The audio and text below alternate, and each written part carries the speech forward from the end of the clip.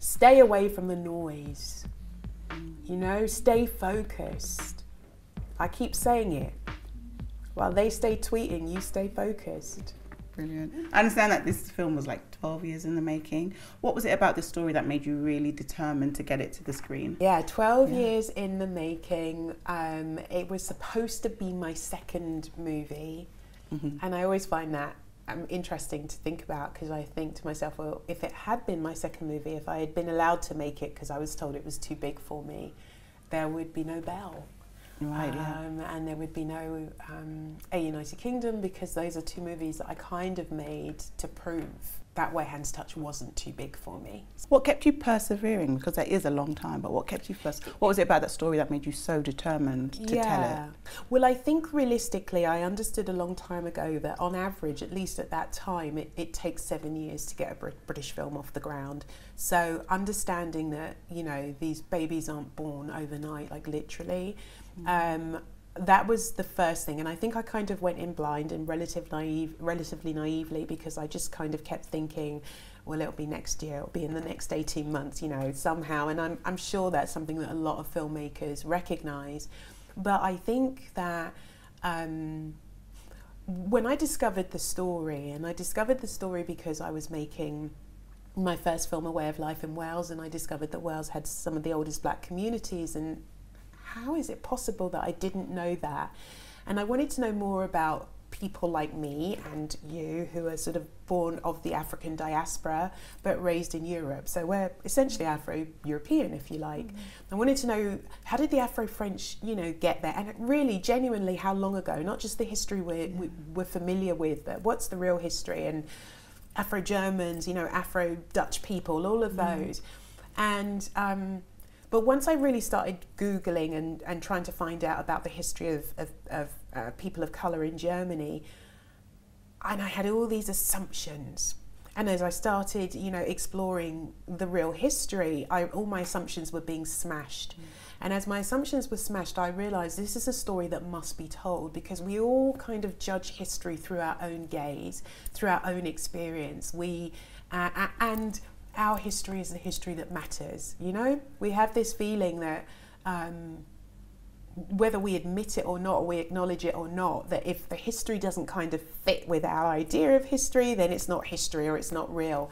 And I, for me, I thought it was so important to get this this story out. But then when I sat down and interviewed, met with um, black survivors of the, the Holocaust, black survivors of World War II in the period I was absolutely determined that I wanted to try and make a film before um, they were gone. Yeah. You know, and so that that kept me going. Right. Yeah. And with that sort of element of period in some of your past films, do you think that you have a responsibility to tell stories that haven't been seen by the mainstream? Well, the key main story that I wanted to tell that was a black story, you know, steeped in history was this one. Mm. And um, you know, um, when I was sent the, the picture postcard of the painting of Belle, um, you know, and I originally just was just like, you're never going to let me make the film I want to make. You're never going to let me write the story I want to write. So thanks and good night. Mm. And then it eventually came round because I realised that this was a way, perhaps a pathway to getting Where Hands Touch made. At that point, I kind of realised it was very, very important for me um, to get this right. And I really thought, much like my first film, that I was going to be making this in a bubble and maybe a few British people would get to see this film. I had no idea that Belle would blow up in the way that it did on both sides of the water, and that I would, in in acknowledging um, the kind of story that I wanted to see on screen, um, you know, which is a period drama that involved someone of colour, that I would actually be feeding into what so many women who look like me out there also wanted to see on screen. I, I didn't even think of it in that way because, you know, I was a filmmaker who made one film. This was my second movie. I didn't expect many people to want to go and see that movie. So yeah, that definitely a responsibility hits, mm. and and specifically with um, actually something that's very very what's the word I'm looking for? Um, very fragile, like a film like um, A United Kingdom, where you've got a story about a black man who takes a white woman back to a country in Africa to be a queen, essentially meaning queen of the black women. Mm. That is such a fragile um, storyline that for me to be able to shape this story into something that I thought I could go and see, were I not the filmmaker. Um, you know, what would I want to see as a black woman? Well, definitely, I would want to see the black females in Africa speaking and having an opinion. Mm. Um, so, in shaping it in, in, in that way, yeah, I definitely felt a responsibility, not just to tell stories that um, that haven't been told, but also to, to, to, to tell stories that are um, authentic. Yeah, let's talk a little bit about the response to the film. Obviously, there was a little bit of backlash on social media. Mm-hmm. How was that for you to receive it, and and what did you think at the time? Because obviously, people hadn't seen it yet. I mean, that was interesting for me because I'm on my fourth movie, and in some ways, that's. Um, you know, I've made some strides in the industry as a, as a black female. There are so few black British females who are making films um, and, that films that cross over to America as well. Um, but at the same time, I realise that I'm really still at, very much at the beginning of my career. If you think about Scorsese or you think mm. about Spielberg when they've only made four films, that was definitely mm. still the beginning of their careers. So um, I realise also that the stories that I tell um, are doing something very different. You know, not just putting a um, woman of colour um, behind the camera and encroaching on space that has previously not been ours. Mm. But I'm also, you know, often placing people of colour and um, sometimes women of colour at the centre of stories where we normally don't get to see them, and again, encroaching on other space. Mm. So I think what, what happens, what I understood and what I realised, um, and what I, and I'm a bit of a geek so kind of what happens to me in that situ- those kind of situations is I stand back and I kind of just observe society and I mm. observe how society's working and I go wow it's really ironic that you know what we're dealing with here is a film that where essentially we're talking about how children are supposed to find their moral code when they are bombarded with propaganda and they're bombarded with a narrative that has been hijacked by other people in order to to to uh, to to sway society in one direction or another. And um, you know, these were the seeds in the 1930s that were that were planted in order for Hitler to be able to stand on the platform and do what he did. And so this is essentially a film about propaganda, and I kind of found it quite ironic that propaganda was being used to hijack this film, and people of, you know, all different demographics were essentially telling me and social media what this film was about without even having said it, you know, seen it. And I've, so I found, I also found it, you know, really ironic, for instance, that, you know, you had one particular um, blogger who was sort of saying, you know, this is a film that has no Jewish people in it. How can you make a film about, you know, Nazi Germany that has no Jewish people in it? And of course, hadn't even seen the film, but that became the narrative and that became mm. her propaganda. Mm. Um, and so for me, I, I just, well, this particular, these particular times, I stand back and like a geek, I sort of put my head to one side and I just kind of observe what's going on because what I write about, the stories I tell, they are intimate stories, but they are essentially um, looking at society through the gaze of, of, of an intimate story and um, I, through my intimate gaze, I was simply looking at society and seeing how society was operating and seeing how how easy it is actually to hijack a narrative and seize a narrative and um, how easy it, it, is to actually gain um, a momentum and for people to jump on a bandwagon literally um, without actually even seeing something in, in 2019 where it's kind of like we're in an era of politics where you might think thinking for yourself and watching a film and making your own judgments and not either going by what somebody says who has an agenda or what somebody says who hasn't seen the film, but going by your own thoughts might mm. be what might become your imperative, but, but, but it still isn't. And for me, that just, I'm an artist that just becomes something you observe and you, you you know you put it into your work you know i've always said you know you can write tweets or you can write scripts Oh, I love that. I'm going to use that as a nice soundbite. you know it's I, true. I know which one i choose What was it like directing Amandla and George, seeing as they were quite young,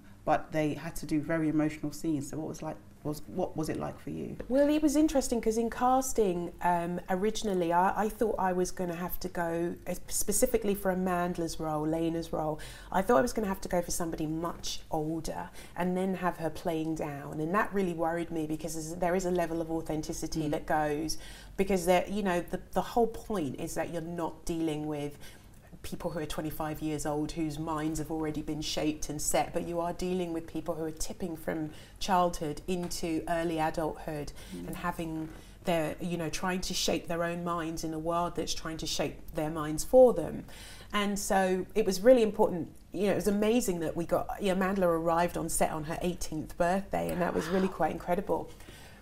The key thing about both of them is that they are just fundamentally so savvy, and they're fundamentally savvy um, without losing any of that that that newness of being young and um, being curious, and um, which is exactly what we needed for their characters, um, and essentially being good people.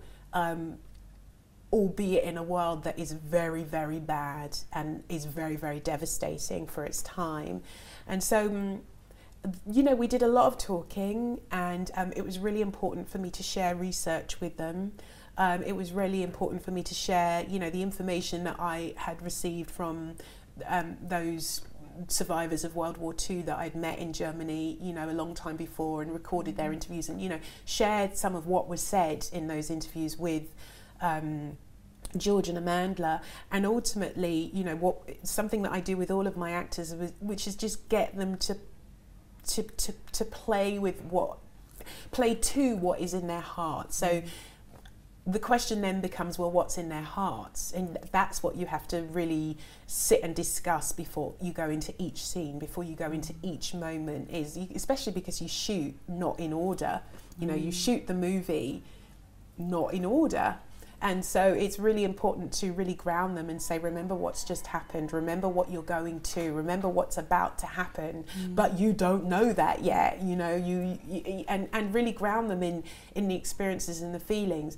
I think what was really important for me also was to have a young um, woman of colour on screen who is experiencing a plethora of experiences and going through a learning curve that we simply haven't seen uh, or been allowed to see a woman of colour go through before. And I think, in fact, what that does, rather than humanising a Nazi who is a 16 year old boy who's in the Hitler Youth, which was mandatory, and but for the grace of God, go any of us who, who are not forced to be in an organisation that we would, you know, we would never choose to be in if, if we, we had our own mind. Um, far from doing that, I think what it does is humanises a woman of colour on screen and says, you know, you you why should you be held to a higher standard? Why should you be the stronger, better, all knowing? Why can't you just be a kid like every other kid? Why can't Yeah. black women, black children just be like everybody else and be exposed and impacted and, and affected by all of the same things that other people in society are affected by? Why do we always have to be the ones to do better, mm. particularly when we're just children? And so, by God, when, when Lena knows better, she definitely does better. And what this story is really about for me is a, as a young woman who's going through a journey where she's finding out what her moral code is, she's learning about the world around her, specifically, you know, what's happening to Jewish people and where they're disappearing to, and what it means to want to belong to a country that is killing its own people. And when she discovers that, we see who, who Lena really is, which is someone who gives, which is someone who loves, and someone who has strength, and someone who is um, the true hero at the centre of her own story. We, we just don't get to see that with women of colour often enough. Mm. Yeah. We, we work with a lot of creatives, and especially black women, and yes. they often feel that same perception we have to be better, do more. We see you, and I know you said you're four films in, but we see you, and you've done amazing films. You've done Handmaid's Tale, you've got Billion Dollar Spy coming up as well. Um, but how has it been for you as a black female filmmaker and navigating the politics? I mean, I think, I think the key thing is that. Um, I, I don't. I haven't done any research, I don't know if there is another woman of color out there that has, you know, had four movies distributed, um, who is also British mm. um, and and of African descent. I don't know, but but but I but I don't know any. And what I know is that oftentimes when you are, um, you know, walking down a path that you know alone. Um, there are struggles, and those struggles come from within and without. And what I mean is within your community and from outside of your community as well.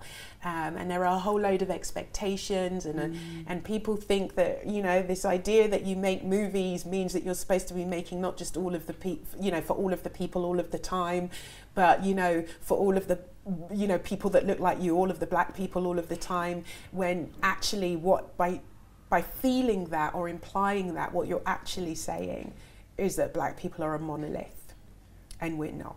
Mm. We don't think the same, we don't vote the same, we don't like the same things all of the time. We are not a monolith. And so, once again, as an artist, I, I don't make movies for all of the people all of the time or all of the people who look like me all of the time. Mm. I make movies for people who are going to get my movies and get what I'm trying to do. Yeah, so my advice to anyone who who wants to make films and looks like me is just you know stay away from the noise. You know stay focused. I keep saying it. While they stay tweeting you stay focused. Brilliant. And is there a story apart from dollar spy that you're really dying to tell oh, that you yeah. give us like a sneak sort of yeah i'm trying to find a way into the Yaa Asantewaa story i'm mm. really trying to find yes. the way into the Yaa Asantewaa story um, which for anybody who doesn't know is the story of a, a Ghanaian warrior woman who um, led the people of Ashanti to um, fighting um, the Europeans, the, the British mm. during um, Ghana's colonial, early colonial period. Um, but I also, you know what, I am I want to get into that superhero world but I want my superhero to be a black female, like black like me. So for anyone who's like questioning, no, not biracial, because you know, you get that a lot. The, the body of my work is not complete. Thank you for assuming it is, but it's not. Um, mm. But yeah, you know, who is going to be that superhero woman who is at the center of her own story and is by golly saving the world.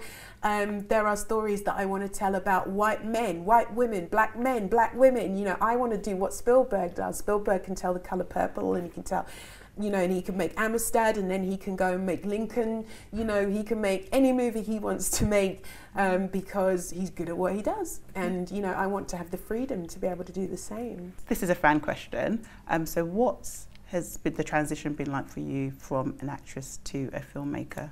I thank God that um, I was um, an actress, albeit a bad one.